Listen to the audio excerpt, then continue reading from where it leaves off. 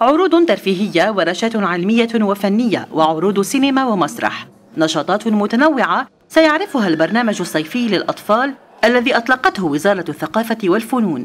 أردنا من خلال هذا الأسبوع الثقافي أن نخلق آه، تفاعلا إيجابيا بين الطفل ومجتمعه حتى يعني لا يظل أو يكون فريسة لما يمكن أن نسميه بالتوحد الرقمي وكذلك هيمنة وسائل الاتصال الحديثة.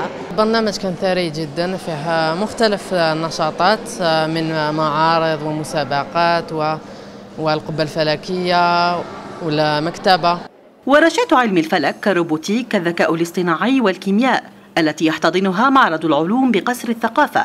إلى جانب الورشات الفنية فرصة للأطفال لتوسيع معارفهم واكتشاف مواهبهم في مختلف المجالات.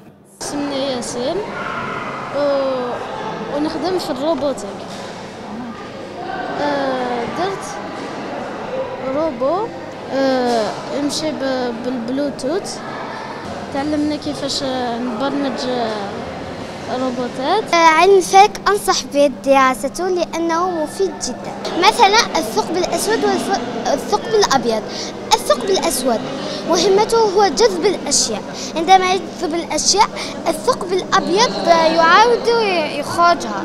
البرنامج الذي سيدوم إلى غاية الخامس عشر من أوت المقبل. سيعرف أيضا مسابقات وألعاب إلى جانب عروض يومية في القبة الفلكية التي تحمل الأطفال في رحلة بين الكواكب والمجرات.